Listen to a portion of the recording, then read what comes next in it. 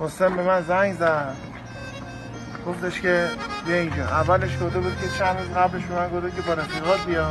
تو باغ باشیم. گفتم داداش خودمون تک میام. نمی‌خوام کسی باشه. خودمون دور همی باشیم. رفیق بودیم. ما با هم دیگه چند سال رفیق بودیم. با خودش با داداشاش مشکلی با هم نداشتیم. بودم تنها میام.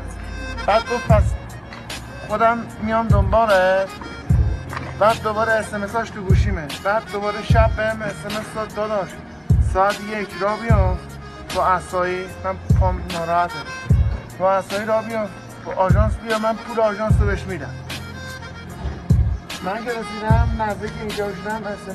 حسین زنگ می‌زد می‌گفت کجا اینو گفتم رسیدم. گفت خیابون 21 برنجک رسیدی؟ اولین بمب است بیا تو. اومدم دیگه رسیدم سر کوچه حسین از بالا اومد